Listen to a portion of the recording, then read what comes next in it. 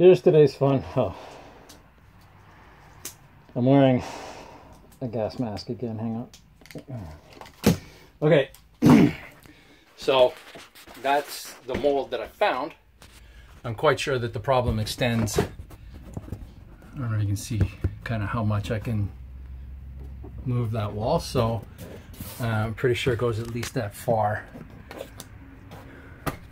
Beyond that, I don't, I honestly don't know. So we'll find out.